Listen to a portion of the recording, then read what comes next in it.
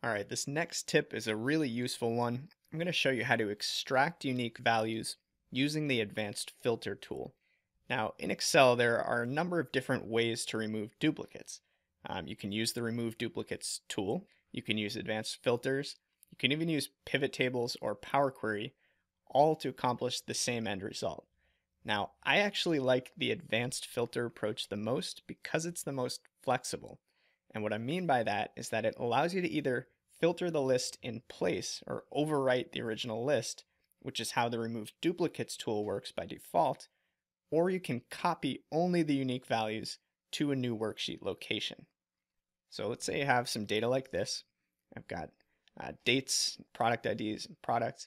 You know, maybe this is transaction data where a product might sell, you know, on multiple days or even multiple times within the same day meaning that that column C is likely to contain many duplicate values.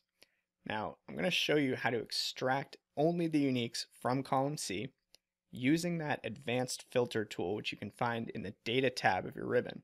And when you launch that filter tool, you can choose to either filter the original list in place or copy it to a new location. And the key is this checkbox at the bottom, unique records only. What that's going to do is produce a list like this one shown in column F that contains only the uniques from our original column C. So really great tool. Couple common use cases here. Uh, for one, obviously just identifying uniques while preserving your original list, which may live as part of a larger table or data range.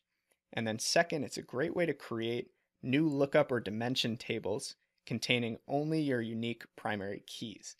Now to learn more about what that means, what lookup or dimension tables are all about, check out my Intro to Power Query, Power Pivot, and DAX course. That's going to talk all about Excel's data modeling and relational database tools.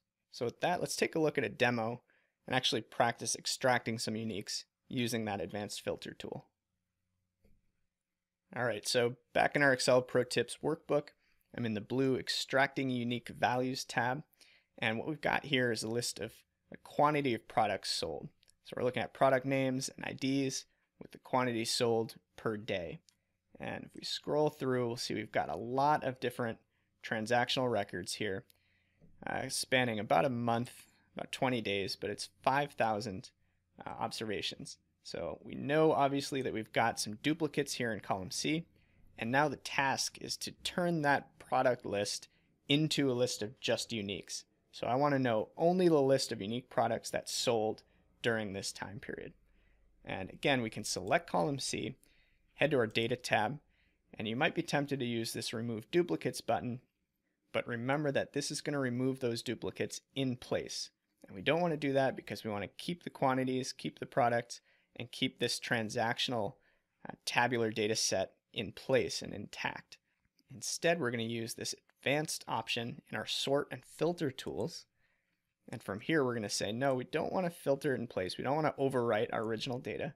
We want to move it to a new location. And this is our list range, C1 through C5001, which is correct.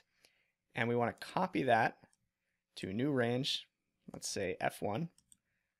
And here's the key. Check that unique records only box and press OK. And there you have it. Once we do that, you can see with the control arrow down shortcut that our list ends right here at 1490. So a lot of those duplicates were removed.